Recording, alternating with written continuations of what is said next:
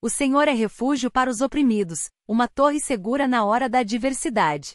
Quando a adversidade bate à porta, é natural sentir medo e incerteza sobre o que fazer. Nesses momentos, é importante lembrar que o Senhor é o nosso refúgio e a nossa torre segura. Ele é a nossa proteção e o nosso guia, nos dando força e coragem para enfrentar qualquer desafio. Muitas vezes nos sentimos oprimidos pelas circunstâncias da vida.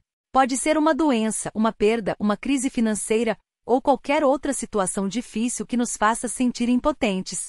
Nessas horas, é importante lembrar que o Senhor está ao nosso lado e é capaz de nos dar a força que precisamos para superar qualquer dificuldade. A Bíblia nos ensina que o Senhor é nosso refúgio em tempos de aflição.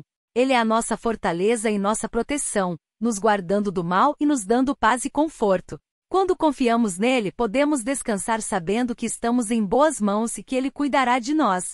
Além disso, quando nos sentimos seguros em Deus, somos capazes de enfrentar a adversidade com coragem e esperança.